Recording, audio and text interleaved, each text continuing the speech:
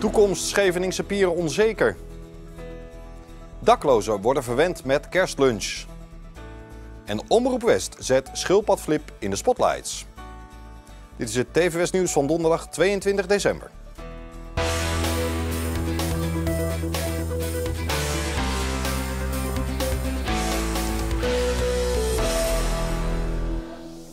Dag dames en heren. Het voortbestaan van de Scheveningse pier is onzeker. Eigenaar Van de Valk heeft er geen zin meer in om nog meer geld in te investeren. Ze sluiten niet uit dat de pier in de toekomst wordt verkocht. Dat bleek tijdens de sloop van de resten van het Schateiland dat in september afbrandde. De resten van het afgebrande Schateiland moesten met een helikopter worden afgevoerd. Er waren ook wel andere mogelijkheden, maar die waren niet zo handig. Je kan via het strand slopen of via de pier. Maar ja, dan zit ik met bakken hier midden, midden in het centrum. Eh, vrachtwagens, uh, steekwagens, pompwagens. Nou, je ziet hier allemaal trappen. En het is, je gaat de hele pier eh, belasten met, met een hoop verkeer. En ja, dat vonden wij niet handig. Dit is veel leuker. Tijdens de sloopwerkzaamheden rijst de vraag... wat komt er op de plek van het afgebrande Schateiland? Voorlopig niets, want familie Van der Valk heeft geen zin om nog meer te investeren in de pier. We zijn nu 20 jaar bezig en uh, ja, het, is eigenlijk, het heeft het ons niet echt veel gebracht. En uh, de teneur in de familie is een beetje dat, uh, de vraag van hoe verder. En u sluit zelfs niet uit dat u, het, dat u de pier van de hand doet? Ja, we sluiten niks uit. Dus die optie is ja, eigenlijk ook bespreekbaar. Wanneer de familie van de Valk een beslissing neemt over de toekomst van de pier is nog niet duidelijk. Nieuw overleg morgen tussen HTM en de buschauffeurs moet voor een oplossing zorgen voor de onvrede die er is over de nieuwe dienstregeling. Volgens de chauffeurs is het schema nu te krap, waardoor de bussen niet op tijd kunnen rijden. HTM wijt de veranderingen aan de bezuinigingen die door het Rijk zijn opgelegd. De nieuwe dienstregeling van HTM is vorige week maandag ingegaan en daar is nogal wat in gewijzigd.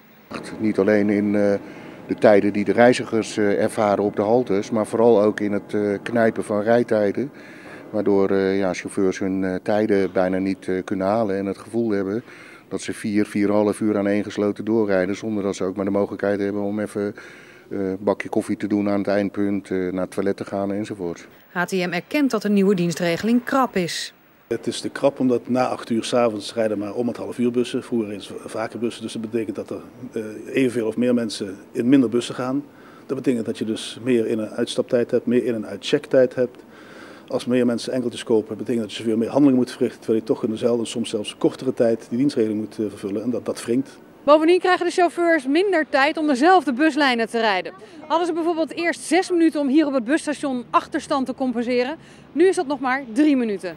Het moeilijke is dat HTM aan handen en voeten gebonden is, omdat het stadsgewest Haaglanden de dienstregeling heeft vastgesteld en minder geld daarvoor heeft gekregen. Er zijn reisbezuinigingen geweest, die werken we door in het, de bezuiniging van het stadsgewest. En dat werkt dan weer door op wat HTM kan doen, want er is minder geld, minder budget beschikbaar. Dus moet je gaan bezuinigen, moet je gaan schrappen. Nee, dat, dat snappen wij ook met z'n allen, dat het met minder moet. Alleen het moet wel uh, menselijk uh, blijven, het moet haalbaar blijven, want... Uh, we sluiten niet uit dat als het op deze manier langere tijd doorgevoerd wordt, dat mensen bij bosjes afvallen en in uh, het ziektewet terechtkomen. HTM is de chauffeurs al tegemoet gekomen door 12 extra diensten in te passen om het ergste leed te verzachten. Morgen wordt er verder overlegd om tot een oplossing te komen. Als dat uh, voldoende soelaas biedt, en daar hopen we echt op, dan, ja, dan wordt de, de, rest van de oplossing ook wel gevonden. als dat niet het geval is, ja, dan gaan we ons beraden op wat dan te doen. Acties? Niks is uitgesloten. De politie Hollands Midden werpt een nieuw middel in de strijd tegen het zwaar illegaal vuurwerk. Een explosieve hond. En de viervoeters die normaal door de douane worden gebruikt, worden nu ingezet om gehuurde opslagruimtes van particulieren te controleren. Radja is een van de 20 speciaal getrainde explosieve honden in Nederland. Normaal gesproken werkt ze op Schiphol of in de haven van Rotterdam. Hoe bijzonder is deze actie met deze explosieve hond? Nou, het is vrij, vrij uniek. Het gebeurt niet zo heel veel. We, we, zijn bezig met ons vuurwerkteam om iedere keer nieuwe manieren te vinden om toch illegaal vuurwerk te ontdekken. En een van die ideeën die ook naar boven kwam is van self-storage is natuurlijk heel makkelijk. Want je neemt een verhuisdoos en iedereen denkt dat je je kamer aan het verbouwen bent. Hoe hebben jullie er controle op, op wat hier wordt opgeslagen? Kun je dat controleren? Wat je zegt, op hetzelfde moment is het ook voor ons bijzonder lastig. Als men hier met verhuisdozen binnenkomt die vol, uh, vol zitten met zus of zo. Um, om te kunnen zien bij de deur of het mag of niet mag. Radja mag haar speurderskwaliteit bewijzen bij een opslagbedrijf in Gouda... waar particulieren hun spullen opslaan.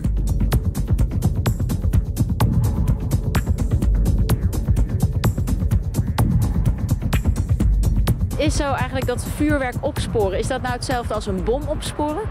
Nou, het vuurwerk, het illegale vuurwerk, heeft natuurlijk de kracht van een handgranaat. Dus dan moet je inderdaad aan explosieven denken. En daar is deze hond in getraind. Wat vinden jullie van die actie? Nou, we juichen het heel erg toe. Um, en we kunnen het onszelf niet permitteren als het vertrouwen wordt beschaamd door een paar individuen die um, besluiten om je spullen op te slaan die, uh, die hier niet mogen liggen. Maar hoe goed Radja ook zoekt, hier ligt geen illegaal vuurwerk opgeslagen. Maar de dag is nog lang. Misschien heeft ze bij het volgende opslagbedrijf meer succes. En in totaal heeft explosieve hond Ratja bijna 2000 opslagboxen gecontroleerd, maar geen vuurwerk aangetroffen. In het opvangcentrum voor asielzoekers in Katwijk heerst een wantoestand. Dat zeggen kinderbeschermingsorganisaties UNICEF Nederland en Defence for Children na onderzoek.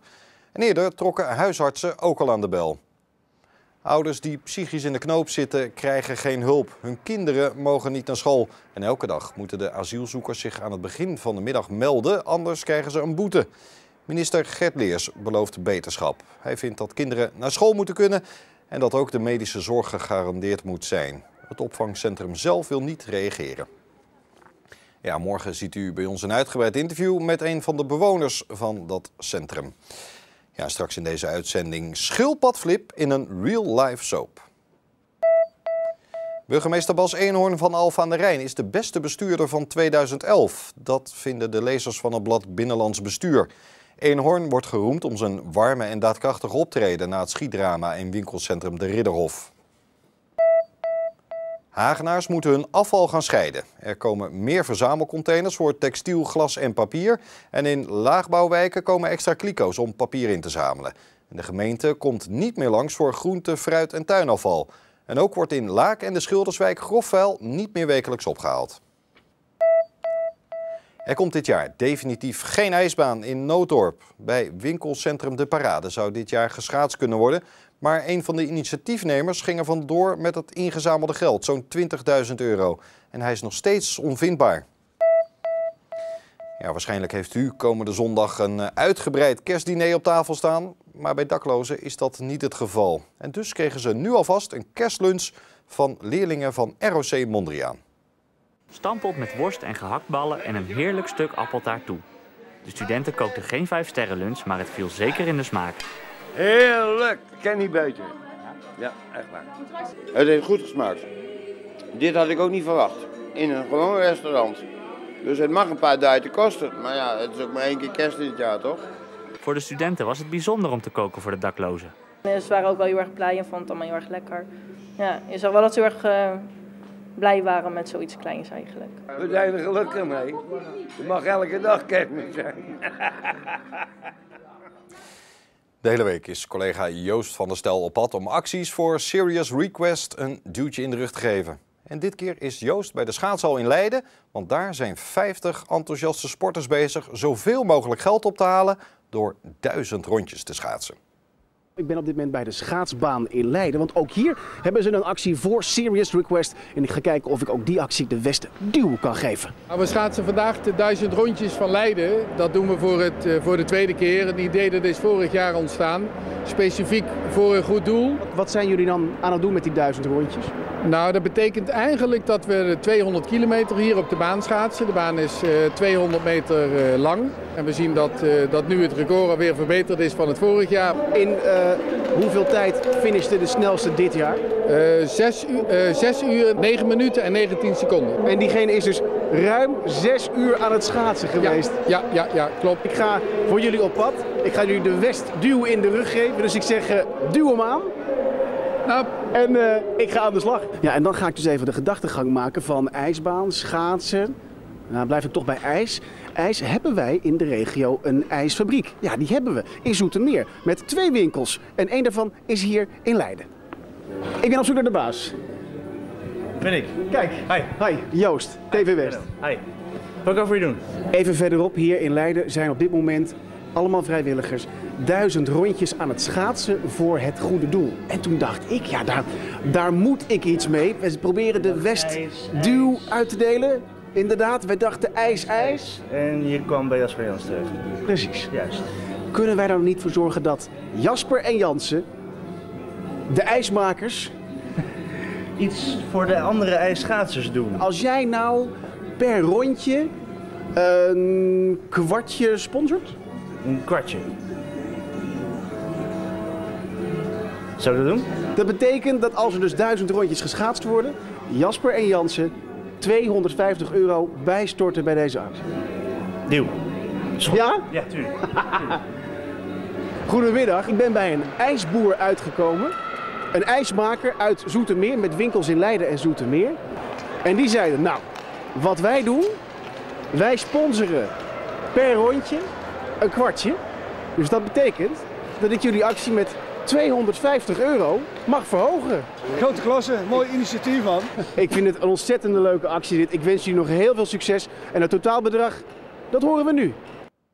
Ja, ja, daar komt die pauken en tromgeroffel. Het eindbedrag van de 1000 rondjes van Leiden is, inclusief de bijdrage van de ijsverkopers, uitgekomen op 5570 euro.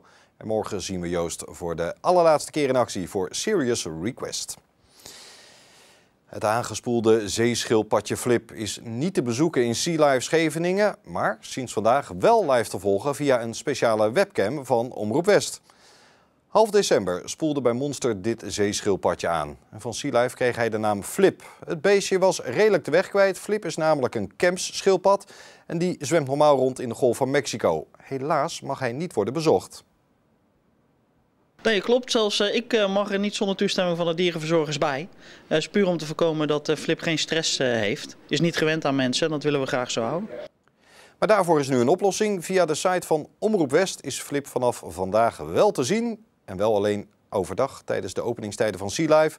Want s'avonds en s'nachts mag Flip even genieten van zijn privacy. We gaan verder met het weer. Uit een recent onderzoek van het KNMI blijkt dat het in Zuid-Holland in de afgelopen eeuw aanzienlijk natter is geworden. Hupizee, merken we dat ook deze maand? Ja, nou en of. Dit was de situatie in Gouda een paar dagen geleden. Maar ook in Delft bijvoorbeeld is deze maand al 141 mm neerslag gevallen. De normale hoeveelheid is eigenlijk 85, dus we merken het wel degelijk.